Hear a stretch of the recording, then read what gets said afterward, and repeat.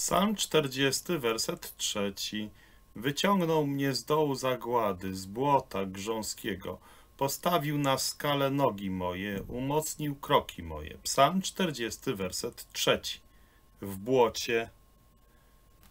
Jest to opowiadanie, które ilustruje nam ten psalm 40, werset trzeci. Gdy stopniał śnieg, można było obsadzać pola położone na wyższych partiach wzgórz. Pola leżące niżej znajdowały się jeszcze częściowo pod wodą. To właśnie tam dwóch chłopców miało zamiar wypróbować swoje nowe gumowce. Brodzili po kałużach, nie zdając sobie sprawy z tego, że niektóre z nich zamieniły się w stosunkowo głębokie grzęzawiska. Nagle jeden z nich wpadł w bagno. Próbował się wycofać i uwolnić, jednak bezskutecznie. Gdy zdołał wyciągnąć z błota jedną nogę, druga wpadała jeszcze głębiej. Jego gumowce stawały się coraz cięższe, aż w końcu obie nogi na dobre utkwiły w szlamie, w bagnie. W międzyczasie jego przyjaciel znalazł się dokładnie w tej samej sytuacji.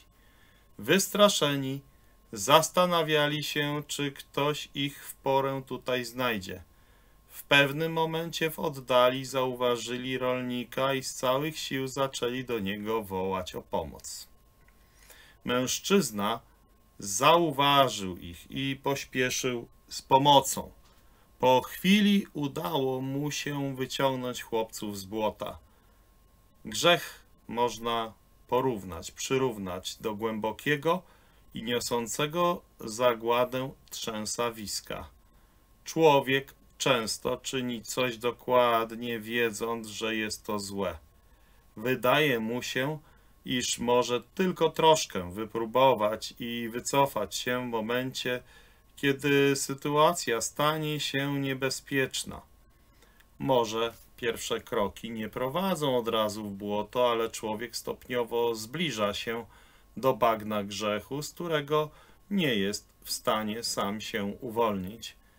Co jest jedynym sposobem ratunku w takim położeniu? Wołać do Pana Jezusa. Wołać. Wołać, jak to uczynili wcześniej wspomnieni, opisani chłopcy. A do kogo wołać? Do Boga.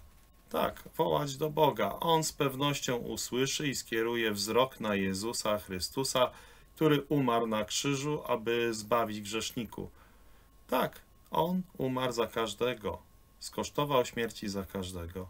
Bóg chce, aby wszyscy ludzie byli zbawieni i do poznania prawdy doszli. Jedynie Bóg ma moc wyrwać nas z bagna grzechu.